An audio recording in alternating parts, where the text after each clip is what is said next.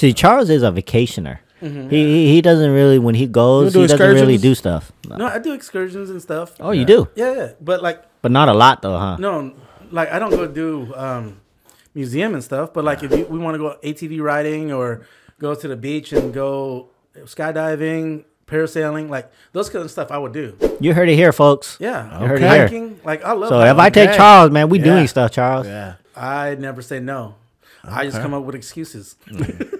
Like me, I'm a traveler, so when I go somewhere, I got to do something. Yeah, me too. It, has got to be mm-hmm. some excitement. It's got to be some like adrenaline. It's got to be something that we're doing that's Yep. different. You know, so. I'm I want half-half. to. Yeah, half half. Yeah, so like I don't mind having agendas for us to hit, but not every single day.